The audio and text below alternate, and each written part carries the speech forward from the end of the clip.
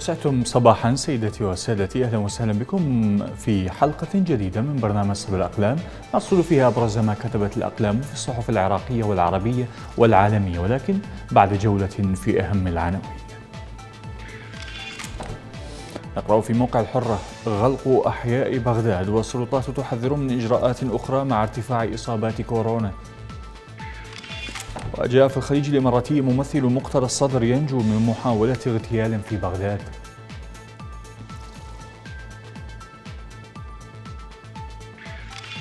ونقرأ في العرب الجديد ستة أشهر على اتفاق سنجار والعمال الكردستاني يستقوي بالحشد.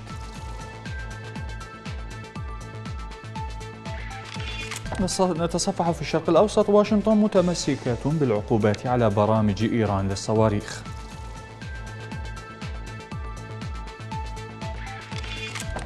القدس العربي وكالة الطاقة الذرية تبلغ عن انتهاك إيراني جديد للاتفاق النووي.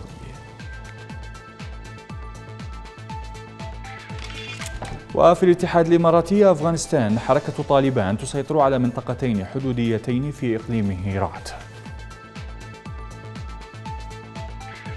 وأخيرا وليس آخرا البيان الإماراتي مقتل 11 متظاهرا في اشتباكات مسلحة بين قوات ميانمار ومحتجين.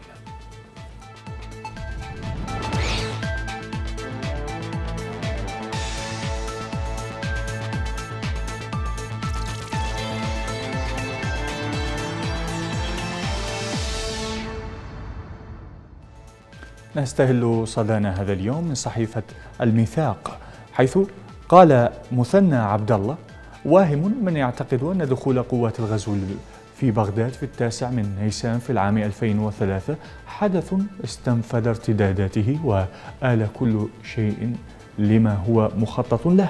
فبغداد كانت جدار برلين العرب الذي بعده أعيد تشكيل خارطة الوطن العربي. مثنى عبد الله يرى في صحيفة الميثاق الوطني أن الارتدادات لم تكتمل بعد لأن احتلال بغداد برنامج عمل تم تأسيسه لإعادة صياغة البنية السياسية في العراق على الشكل الكارثي الذي ما زال العالم كله يراه إذا كانت ذيول الاحتلال قد حاولت جعل هذا اليوم عيدا وطنيا بما أسموه يوم التحرير فهو إنما استجابة لإرادات قوى الغزو التي عملت على أن تكون لدى شعبنا ذاكرة منقسمة تبعا للانقسام المجتمعي الذي اجتهدوا كي يجعلوه واقعا حقيقيا لكنهم فشلوا. وها هم يلوذون بالشعارات الوطنية ويحاولون ارتداء ثوب الهوية الجامعة متظاهرين بأنهم ضد الاحتلال وقواته المتواجدة على الأرض.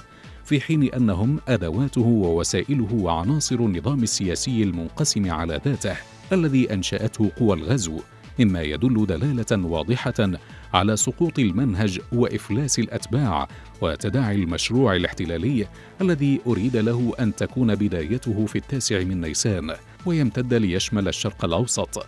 احتلال بغداد خلق حالة من الترقب لما سيأتي ليس بالنسبة للعراق وحسب بل للمنطقة عموما لأن الحدث كان فريدا من نوعه في ذلك الوقت بعد أن كانت قلعة كبرى لشعوب هذه المنطقة كما شكلت حاجزا نفسيا حصينا في تشكيل النفسية العربية.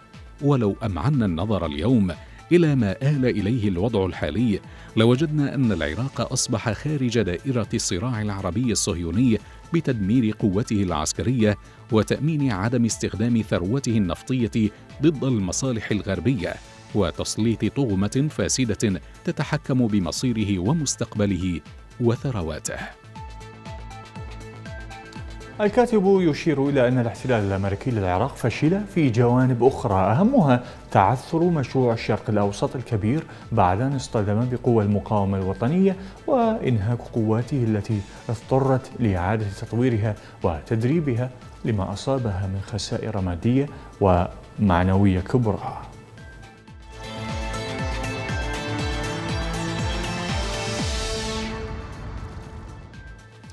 نطالع في موقع عربي 21 في التاسع من نيسان 2003 بدأت مرحلة مرهقة ومظلمة وقاسية وساحقة ومدمرة من تاريخ العراق الحديث. وما زلنا حتى اليوم نعاني من تداعياتها المريرة التي ربما ستستمر لعشرات السنين. جاسم الشمري يقول في موقع عربي 21 إنه بعد سنوات وسنوات صرنا في منتصف طريق مخيف فلا نحن دولة ديمقراطية ولا نحن دولة لها أي شكل من أشكال أنظمة الحكم في العالم. وربما الوصف الأدق والأقرب هو المسمى اللا دولة أو نصف الدولة. رتب الحال في العراق ومنذ الأيام الأولى للاحتلال لبناء نصف دولة فالدولة الحالية معترف بها من كل دول العالم. وفي الواقع هنالك نسبة ليست قليلة من الدول تتعامل بموجب سياسة التغليس عن وجود حقيقي لدولة في أرض الرافدين بعد عام 2003 وكذلك هناك بالمقابل نسبة غير قليلة من العراقيين غير معترفين بالدولة القائمة. وبهذا بقيت الدولة تتنفس بنصف رئة وهذا ما نلمسه في عموم مفاصلها. حالة نصف الدولة قادت لمظاهرات عارمة بالمدن السنية في عام 2013 نتيجة الظلم والتهميش والتضييع الممنهج الذي مارسته حكومة المالك حينها. وتلك المظاهرات لم تشارك فيها أو تدعمها غالبية المدن الشيعية. المظاهرات السنية سحقتها حكومة المالكي ومزقت سنة العراق ما بين القبور والسجون والتهجير والاتهامات الباطلة. تركت معارك التحرير عشرات أنصاف الأحياء السكنية حيث إن نصف منازل أحياء مدن الموصل والأنبار وصلاح الدين مدمرة. ولم تعمرها الحكومة رغم الوعود ومؤتمرات الإعمار الدولية. إن سياسة أنصاف الحلول قادت لتشكيل نصف المؤسسة الأمنية بشكل رسمي ونصفها الآخر بشكل غير رسمي وأنتجت انتخابات نصفها الشكلي ديمقراطي وجوهرها أو نصفها الآخر ديكتاتوري ويمتلك المافيات المسلحة والمال السياسي والترهيب الديمقراطي. الكاتب يرى أن العراقيين بحاجة للتوعية من مخاطر أنصاف الحلول في العراق بعد أكثر من 18 سنة من الخراب والدمار. يقف على أطلال الديمقراطية ويعيش في هشاشة سياسية وأمنية واقتصادية.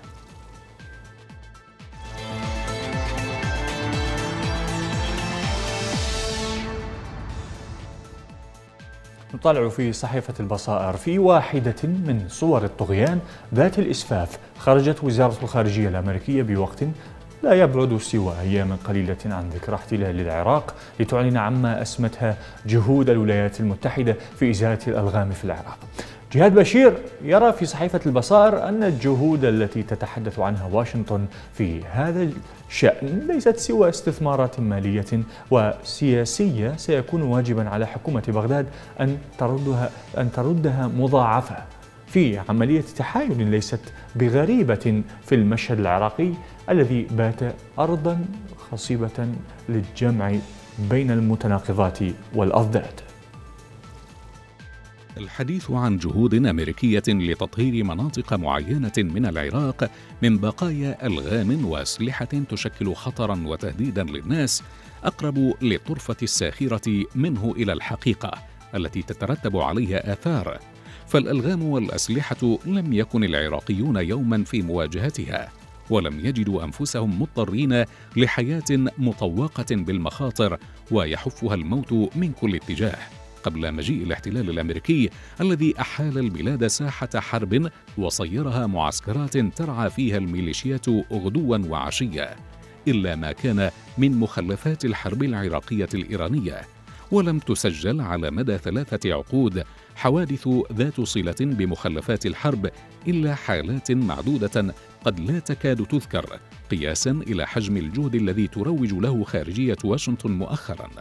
الذكرى الثامنة عشرة لاحتلال بغداد تأتي في وقت تحاول الولايات المتحدة الأمريكية اللعب في اتجاهين ورقة ما تسميه الإرهاب وآثاره ومنها قضية ألغام داعش وجهودها المزعومة في العمل على إزالتها. والصراع التنافسي مع إيران وميليشياتها لتصنع انطباعات جديدة وتروج لمفاهيم أخرى لعلها في المنظور الأمريكي تلغي ذاكرة العراقيين وتصرف رؤاهم عن تأصيل الأزمات التي تجتاح بلادهم وأسبابها ويتجاهلون حقيقة أن ما يجري لهم ليس سوى من مخرجات المصنع الأمريكي والأيدي الإيرانية العاملة فيه.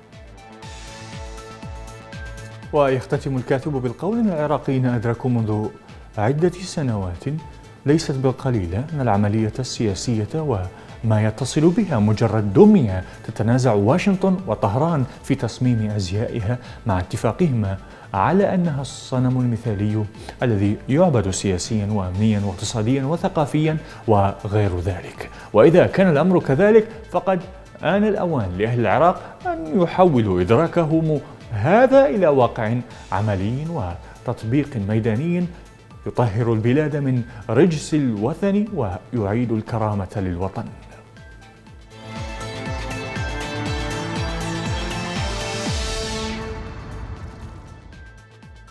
جاء في صحيفة الزمان تستمر قوافل شهداء التظاهرات في الناصرية وفي غيرها من مدن العراق ولن تتوقف ما دامت ميليشيات القتل والاغتيالات محمية بأحزابها وكتلها وأشخاصها. وما دامت أحزاب الفساد والفشل والقتل تهيمن على المشهد السياسي والأمني والاقتصادي في العراق. سامي الزبيدي يقول في صحيفة الزمان إنه ما دام سوء الإدارة وسوء الخدمات والفقر والجوع والأمراض والبطالة والمخدرات تفتك بأبناء العراق فتظاهرات تشرين ستستمر وقوافل الشهداء لن تتوقف.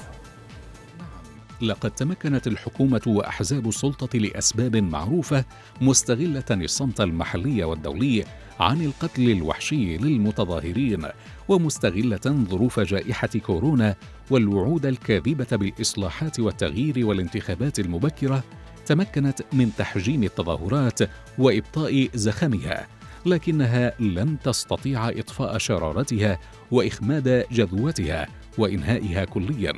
فالتظاهرات المطالبة بالإصلاحات الحقيقية وبالعدالة والخدمات الأساسية والقضاء على الفساد والفاسدين لن تنتهي ابدا.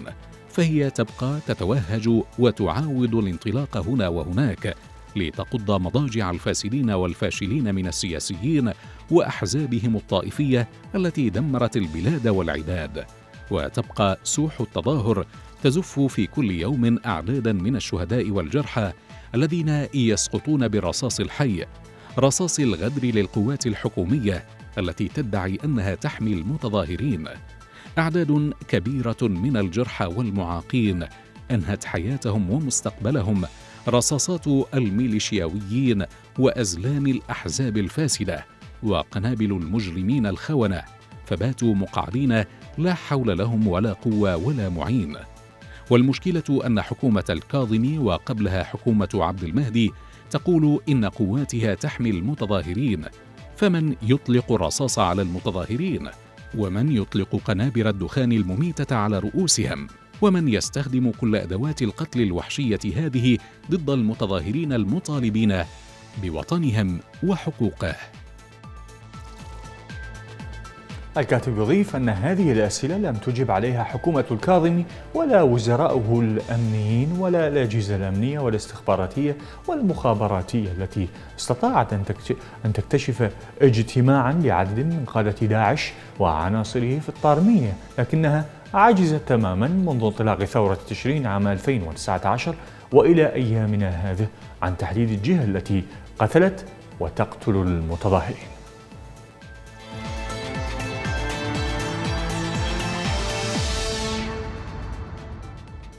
جاء في صحيفة العرب الجديد وحول الملف اليمني يشهد الملف اليمني منذ مدة منذ مدة حراكا سياسيا دوليا تكثف في الآونة الأخيرة مع مجيء الإدارة الأمريكية الجديدة التي أكدت عزمها العمل على إيقاف الحرب في اليمن. الأمر الذي يطرح السؤال عن إمكانية اقتراب نهاية الصراع في اليمن. عمر كوش يرى في صحيفة العرب الجديد أن هناك شكوكا بإمكانية نجاح المساعي الأممية والأمريكية لوقف الحرب وإنهاء الصراع بالنظر إلى إخفاق مفاوضات واتفاقات آه، سابقة وخصوصا التي وقعت في الرياض وستوكهولم. على الرغم من الحراكين الأممي والأمريكي إلا أن هوة كبيرة ما تزال قائمة ما بين الحراك السياسي والأعمال العسكرية.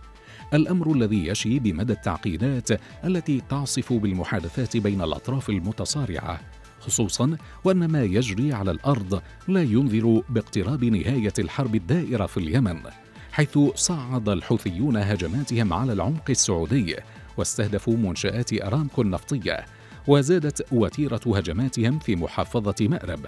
قد لا يصمد التفاؤل باقتراب نهاية الحرب أمام زيادة حدة التصعيد العسكري. خصوصا أن لهذه الحرب امتدادات إلى خارج اليمن. تتعدى الحكومة الشرعية والحوثيين وكل الأطراف اليمنية وتطاول المشروع الإيراني في المنطقة والصراع السعودي الإيراني. لذا بات الصراع في اليمن وعليه يأخذ مع طول أمد الحرب امتدادات واتجاهات بعيدة عن المسارات التي بدأ بها. وبالتالي من الصعب التكهن بان نهاية الحرب باتت قريبة وفي ظل ربط الوضع اليمني بملفات أخرى كالملف النووي الإيراني وانتظار التفاهمات الأمريكية الإيرانية بشأنه وانسداد الطريق أمام التحالف العربي ضد الحوثيين وفشله في إعادة الشرعية. فإن الجهود الدولية والأممية باتت تجنح نحو التركيز على وقف الكارثة الإنسانية أكثر من جنوحها نحو إيجاد حل سياسي شامل ينهي الحرب. وبحسب الكاتب فإن أي مسعى سياسي حقيقي يجب أن يأخذ في الحسبان وضع حلول للوضع اليمني برؤية الأطراف اليمنية نفسها. وليس وفق رؤية القوى الإقليمية والدولية والأهم من ذلك هو عدم ربط الحرب اليمنية بأي ملفات وتسويات إقليمية أو دولية لأن ذلك يحولها إلى ملف مقايضة في صراع الآخرين.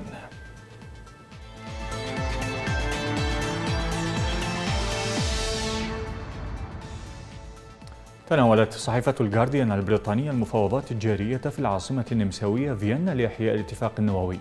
وقالت الصحيفة في مقال للكاتبة هولي داغرس إن مسار العودة الأمريكية إلى الاتفاق النووي مع إيران مليء بالألغام الأرضية. لاعتبارات محلية رغم إشارة كل من طهران وواشنطن إلى رغبتهما في العودة إلى الصفقة النووية. الصحيفة أوضحت أن واشنطن وطهران لا تريدان اتخاذ خطوة خاطئة يمكن أن تنفجر في وطنهم مشيرة إلى أنه منذ تولي الرئيس الأمريكي جو بايدن منصبه في العشرين من كانون الثاني يناير الماضي لا تزال الدولتان عالقتين في طريق مسدود بشأن خطة العمل الشاملة المشتركة التي انسحبت منها إدارة دونالد ترامب في أيار مايو من عام 2018 ولفتت إلى أنه تم إحراز تقدم واضح الثلاثاء الماضي حينما اجتمع الطرفان في العاصمة النمساوية فيينا رغم إقامتهما في فنادق منفصلة. لكن هذه المرة الأولى التي تشارك فيها أمريكا باجتماع متعدد الأطراف مع إيران منذ انسحاب ترامب من الاتفاقية النووية. وأكدت الصحيفة أن الكثير من تركيز إدارة بايدن خلال الأيام المئة الأولى من ولايتها كانت ولا زالت على الاقتصاد الأمريكي وتأثره من وباء فيروس كورونا المستجد والذي يتضمن تمرير حزمة تحفيز بقيمة 1.9 تريليون دولار في آذار مارس الماضي وخطه بنية تحتية بقيمة 2.3 تريليون دولار قيد التنفيذ حاليا. وتختتم الصحيفة بالإشارة إلى أن سياسات إيران الداخلية أيضا تلعب دورا بهذا الصدد موضحة أن الانتخابات الرئاسية ستجري في الثامن عشر من حزيران يونيو. وهذا يبعث قلق الموقعين الأوروبيين لأن إيران لا تتخذ في العادة قرارات كبيرة خلال انطلاق الحملة الانتخابية وإلى حين استقرار إدارة جديدة بمنصبها.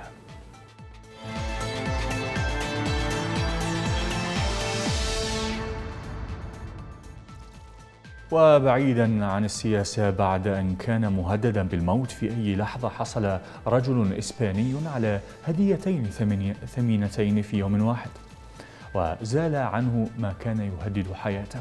فقد كان أنطونيو سيلفادور برفقة زوجته التي دخلت في آلام المخاض عندما أخبره الأطباء أنهم عثروا على قلب مطابق من أجل عملية زراعة كان ينتظرها منذ سنوات.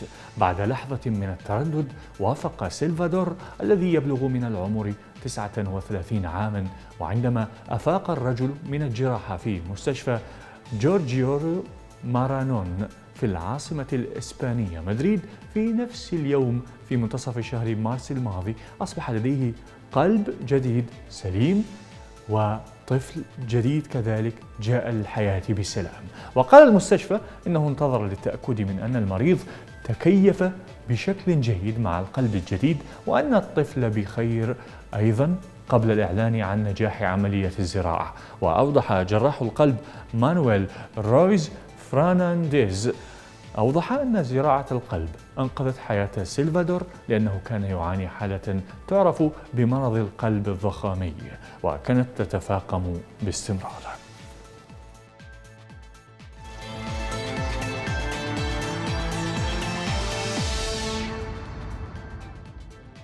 مشاهدة ممتعة مع الكاريكاتور.